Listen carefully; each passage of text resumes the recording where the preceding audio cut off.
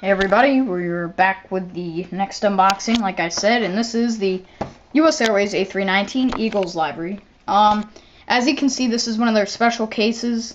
All it says is A319 Eagles, and it's like more of a identification warning and everything. And then other than that, nothing else except for the same exact thing on the back of crease.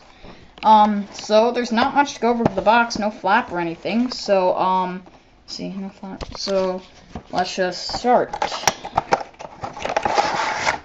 I think this is a beautiful plane. Like, I took it out of the box earlier to make sure it was okay, and I just said to myself, wow. I mean, I say, I say about every Gemini model, this is beautiful, but they really did a nice job. And I have no idea what year release this was.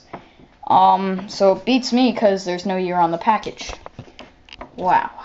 Here, let me move it out of the dark area so you can really get the color. So it's in the Eagles colors. Um, you can see A319. The registration is N709UW. You can see the winglet right there, colors and everything. I think this is a fantastic plane. And I'm not an Eagles fan personally, but this is a must-have for your collection, whether what football team. And you can see this just has those long wings. Um, like a lot of the Airbus ones. Like like the first time I saw an A320, for a second I thought it was a 57 because of the front of it and the wide wings and everything. I was like, is that a 57? And then I saw it was a single wheel. I was like, what is that? And then that was back when I didn't know a whole lot about airplanes. I was like, that's Airbus because I saw the winglets. Um, but yeah, beautiful, beautiful model. Um, let's take a uh, look at the details. Unlike a lot of models, this one does not have a Gemini Jets logo on the bottom, adding to the realism of it. Sorry.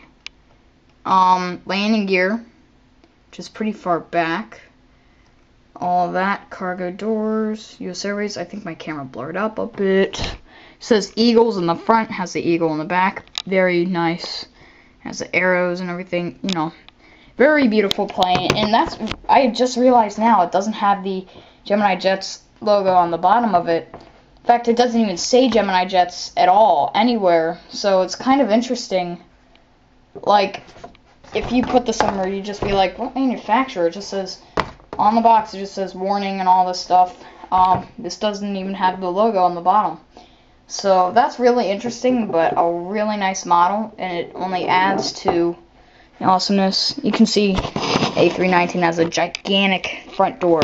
Um, so yeah, this is a wonderful, wonderful model. Um, I can test out it being on the stand. A lot of the smaller models don't want to go on the stand. It's kind of messed up. Oh, this one likes to go on the stand though. That's awesome. Alright, this will go on the stand with like no hassle. So, um, yeah, well, uh, thanks for watching and more unboxing videos like I said earlier.